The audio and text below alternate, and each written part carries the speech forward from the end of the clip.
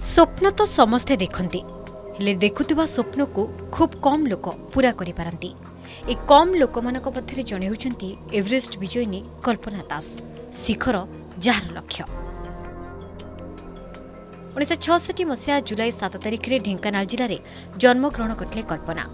ପର୍ବତାରୋହଣ କରିବାର ପ୍ରେରଣା ନିଜ ପିତା ସ୍ୱର୍ଗତ ଗୁଣନିଧି ଦାସଙ୍କଠାରୁ ପାଇଥିଲେ କଳ୍ପନା। ଢେଙ୍କାନାଳର ଆଖପାଖରେ ଥିବା ସମସ୍ତ ପାହାଡ଼ ଚଢ଼ା ସମୟରେ କଳ୍ପନା ତାଙ୍କ ସାଙ୍ଗରେ ରହୁଥିଲେ।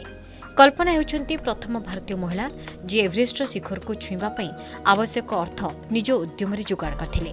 ଆର୍ଥିକ ଶାରୀରିକ ତଥା ସାମାଜିକ ଆହ୍ୱାନକୁ ସାମ୍ନା କରି ଜଣେ ନାରୀ ବିଶେଷ କରି ଓଡ଼ିଆ ହିସାବରେ ଏମିତି ଏକ ଉପଲବ୍ଧି ହାସଲ କରିବାର ଉଦାହରଣ ଅତି ବିରଳ।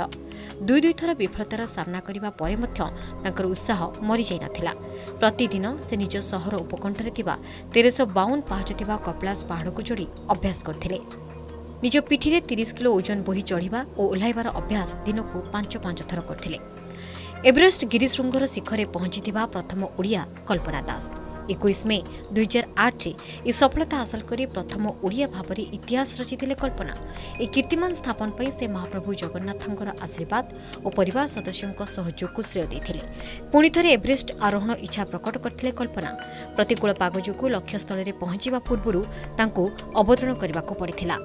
ସାଥୀ ପର୍ବତାରୋହୀଙ୍କ ସହ ଅବତରଣ ବେଳେ ପ୍ରତିକୂଳ ପାଗ ଓ ଅମ୍ଳଜାନ ଅଭାବ ଯୋଗୁଁ ସେ ଗୁରୁତର ଅସୁସ୍ଥ ହୋଇପଡ଼ିଥିଲେ ଆଉ ତେଇଶ ମେ ଦୁଇହଜାର ଉଣେଇଶରେ ଚିରନିଦ୍ରାରେ ଶୋଇଯାଇଥିଲେ ଉତ୍କଳ ମାତାର ଏହି ସୁଯୋଗ୍ୟ କନ୍ୟା ତାଙ୍କ ପାର୍ଥିବ ଶରୀର ଉଦ୍ଧାର କରାଯାଇ ଭାରତ ପଠାଇ ଦିଆଯାଇଥିଲା ଏଭରେଷ୍ଟ ଆରୋହଣରେ ତାଙ୍କର ସହଯାତ୍ରୀ ଥିଲେ ଆମେରିକା କାନାଡା ଓ ନେପାଳର ଆଉ ଚାରିଜଣ ପର୍ବତାରୋହୀ ଏହା ପୂର୍ବରୁ ଦୁଇହଜାର ଚାରି ଓ ଦୁଇହଜାର ଛଅରେ ଏଭରେଷ୍ଟ ଶିଖରରେ ପହଞ୍ଚିବା ପାଇଁ ଉଦ୍ୟମ କରି ପ୍ରତିକୂଳ ପାଗ ଯୋଗୁଁ ସେ ବିଫଳ ହୋଇଥିଲେ।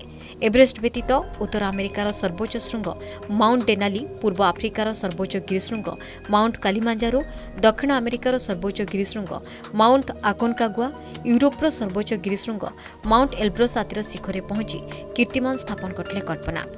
ଜନ୍ମଦିନ ଅବସରରେ ଓଡ଼ିଶା ମାଟିର ଏହି ଗୌରବ କଳ୍ପନା ଦାସଙ୍କୁ ଅର୍ଗସ୍ ନ୍ୟୁଜ୍ର ଗଭୀର ଶ୍ରଦ୍ଧାଞ୍ଜଳି।